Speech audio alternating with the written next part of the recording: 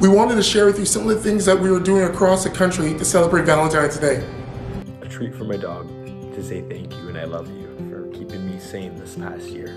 I'm staying outside so my grandma can stay safe inside. I love my boyfriend because on Valentine's Day, I don't have to cook. For this Valentine's Day, I'm spending all this extra time with my little kiddo. this is Maisley, and this is Anne, Love is a four-legged word. I love my grandparents because they always make me laugh, and times when the world is so stressful, they help make me relax. I love having breakfast with my daughter. I love Mother Nature and I'm so glad she was able to breathe a little bit this year. I love my girlfriend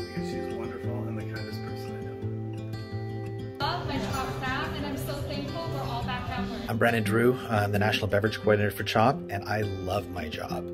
Uh, all I do all day is sit around and make cocktails and taste wine. It's my dream job. And uh, I also love Transformers. I appreciate all the teachers out there because I got to see what they have to do every single day.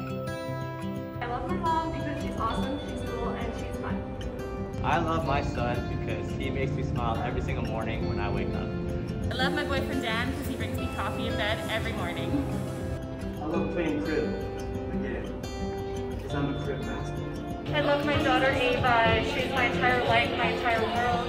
Happy Valentine's Day, guys.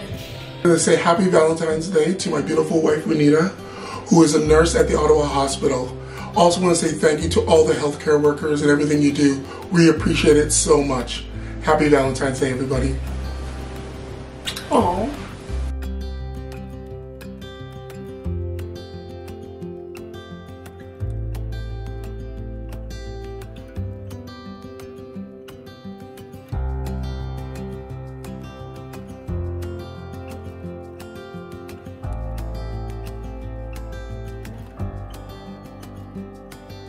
To my favorite dinner companion, my rodeo sidekick, my beach buddy, my adventure seeker, our inspiration for fun and laughter, but most importantly, to my life partner, happy Valentine's Day.